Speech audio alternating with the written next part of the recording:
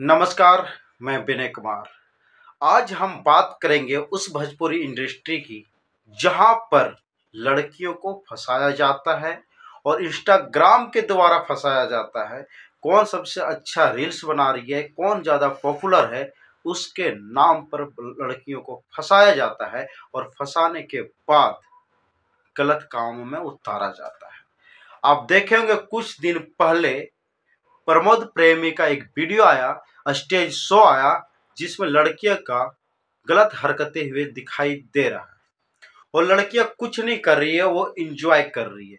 इससे यह साबित होता है कि कहीं ना कहीं इंस्टाग्राम पे जितने भी लड़कियाँ काम कर रही है और सोशल मीडिया से फेम पाना चाहती है, वो भोजपुरी इंडस्ट्री में कहीं ना कहीं दलदल में फंसी हुई दिख रही है।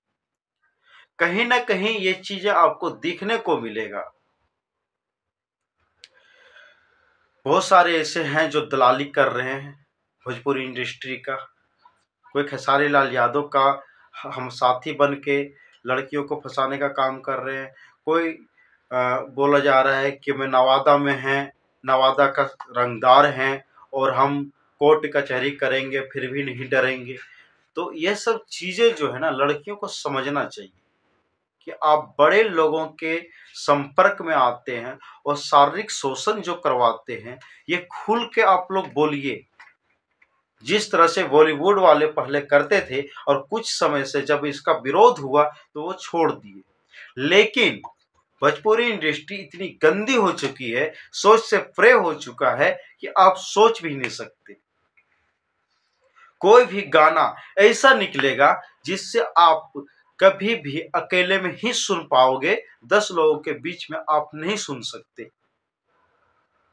अभी कुछ दिन पहले एक गाना हुआ, सोशल मीडिया पे चल रहा है लड़कियाँ अपने जो पहनी होती है उसे खोल देती है और एक बंदा पीछे से गुनगुना रहा होता है कि नाक फनकार मारता तो ये सब चीज़ें जो है ना, सोशल मीडिया में बहु बेटियाँ नाच रही है।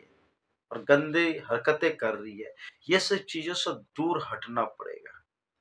अगर नहीं हटोगे तो कल उसकी है, आज तुम्हारी पारी आएगा, तुम्हारी बहु बेटियों का पारी आएगा, तब कहाँ जाओगे?